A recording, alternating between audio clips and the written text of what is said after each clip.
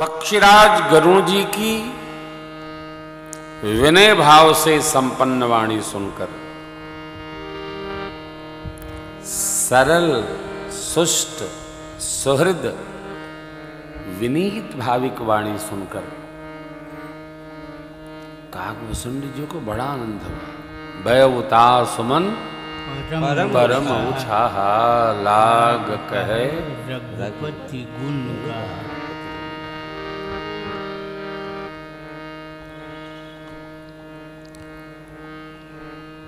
क्या कहने लगे?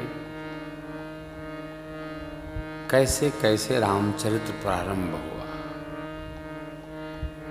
कहाँ तक यात्रा हुई? यहीं से ये चौरासी प्रसंग है। इसको कंठस्थ कर जाए पूरा सुनहुतात जही कारण आयु से लेकर पूरा कंठस्थ कर जाए चौरासी प्रसंग दूसरी रति मम कथा। प्रसंगा। जब प्रसंग चित्त में आएगा मन में आएगा हृदय में आएगा तो उसमें आप आनंदित रहेंगे डूबते उतराते रहेंगे।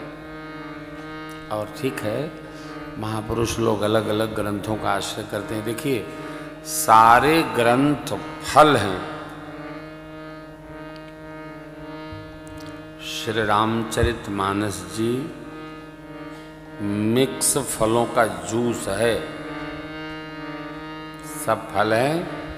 अलग अलग फल सुधार सुधार खाने से बेहतर है, उत्तम है। श्री रामचरित मानस जी के आश्रय में रहा जाए, सरल भी है और एक कप भी लेंगे तो जीवन मनुष्य का सुधर जाएगा, सिद्ध हो जाएगा, मंगल हो जाएगा। ये जो वचन है प्रातः स्मरणीय पूज्य अखंडानंद जी महाराज के। पूज्य स्वामी जी महाराज को गीता जी, भागवत जी और अनेक ग्रंथ पुराण सब सिद्ध थे। ब्रह्मचारी जी से वृद्धावस्था में श्री रामचरित मानस का पारायण सुन रहे थे और वाह वाह आनंद आनंद कर रहे थे। कोई गीताध्यायी महापुरुष आ गए, बोले स्वामी जी आपको तो सारे ग्रंथ अद्भुत ऐसा वैसा। तो और फिर आप ये रामचरित मानस का श्रवण कर रहे हैं? तो बोले, महाराज, सारे फल रखे हों डलिया में और एक स्थान पर जग में सभी का जूस निकाल के रखा गया हो तो कोई फल खाएगा कि जूस पिएगा? तो जब सब रस गोस्वामी जी महाराज ने इसमें भर रखा है तो मैं काहे अलग अलग पोथी पलटूं? यही जूस पीता हूँ, आनंद हो जाता है। ये बात समझ में आनी चाहिए। देखिए, सबको समझाइए ना, अपने को समझाइए। क्योंकि कोई समझने को तैयार नहीं। बड़ी बात है कि हर आदमी समझाना चाहता है। हम आपको सुनाना चाहते हैं, समझाना नहीं चाहते। श्री राम कथा सुनिए। प्रारंभिक जीवन से हमारे प्रचार तंत्र में भी लिखा रहता है श्री राम कथा के सरस गायक प्रेम भूषण जी महाराज के श्रीमुख से राम कथा सुनिए। शुरू से। अविचार नहीं, सविचार लिखा गया है। सुनिए। यूट्यूब पर भी चल रहा होगा। आप सुन रहे हैं। आस्था वाले एक बार लिख दिए, आप देख रहे हैं। तो मैंने कहा, क्या देख रहे हैं? प्रेम भूषण जी को देख रहे हैं। हमारा स्क्रॉल चेंज करिए लिखिए आप सुन रहे हैं प्रेम मूर्ति प्रेम भूषण जी द्वारा श्री राम कथा। सुन रहे हैं। ये जाना तो जाए कि सुन रहे हैं कि देख रहे हैं। क्या देख रहे हैं? तमाशा है क्या? कथा श्रवण की जाती है। जिनके श्रवण समुद्र। समुद्र। कथा सुनने की है। तो मेरे प्रभु ने कथा के प्रति रति ये दूसरी भक्ति। शबरी अम्बा को सुनाया। श्री सदगुरुदेव भगवान के चरणों में कैसी निष्ठा? मान रहित निष्ठा। गुरुपद पंकज सेवा, तीसरी भगति चौथी भगति मम गुण गना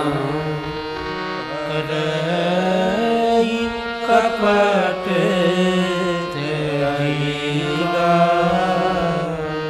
अमान ये बात जानने की है साहब और मानने की है। पिता के सन्मुख पुत्र का मान नहीं।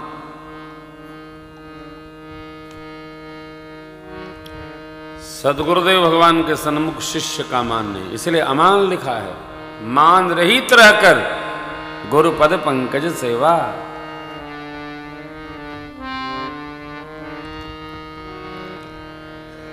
कई लोग इसी में पूरी ज़िंदगी उलझा देते हैं। मेरे को कोई पूछता ही नहीं। हम घर में रहते हैं तो घर में घंटी लगी है। घंटी बजती है। मैं तो कभी गेट वोट खोलता नहीं, न जाने कौन आया होगा। तो गेट खोलने के लिए कोई ना कोई आता है, सेवादार लोग आते हैं, कभी कोई कभी कोई। मेरे को जब कहा जाता है तभी खोलता हूँ। बैठे थे, गेटे खोल देते। अच्छा अच्छा खोल देते। लेकिन कहीं भी रहें, जो घर की मालकिन है, वो आवाज़ लगाती है, कौन आया? अपने नहीं बोलते। हैं अपने बोले तो फंसे न जाने कौन आया वो मांगने वाला, लेने वाला, देने वाला। नहीं करते। जिसका, अब ये ये हम लोग आश्रम पर हैं। प्रातस्मरणी पूज्य श्री महाराज जी। गुरुदेव भगवान तो अपना 24 घंटे आनंद में ही भजन में ही रहते हैं।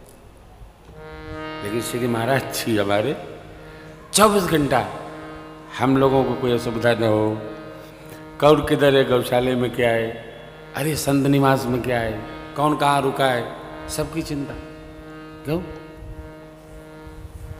अब स्वामी का मुखिया का यही अपना कर्तव्य है कि सब जगह व्यवस्था को समझना होगा, ठीक करना होगा। यहाँ पर जो भी है, सबके चित्त में ये बात रहनी चाहिए। जो कुछ भी हो रहा है, वो सरकार के पास उपस्थित होना चाहिए। ये अपने पास नहीं रहना चाहिए। गुरुपद पंकज सेवा तीसरी भगति। अमान रहकर। गुरु जी के सामने चेले का मान नहीं। आजकल चेला इसी में परेशान रहते हैं, मुझे तो कोई पूछता ही नहीं है। अरे, कमाल है। ठीक नहीं, मेरे सरकार के श्रीमुख बचन है, प्रभु कहते शबरी अम्बा से तीसरी भगति अमान, चौथी भगति मम। करही कपट मेरे गुण समूहों को निष्कपट भाव से गाए। ये क्या है? गा रहा है तो निष्कपटता क्या है? गाना। गुण समूह का गान करना, केवल गान करना। अपेक्षा रही। देखिए, मैं इसका बार बार स्मरण कराता हूँ।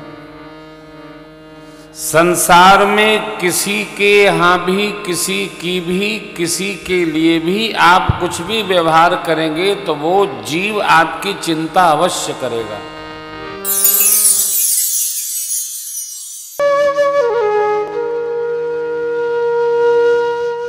इसी तरह सुनते रहिए। चैनल को सब्सक्राइब करिए, बेल आइकन को दबा दीजिए और पुण्य अर्जन के लिए अपनों में शेयर करिए।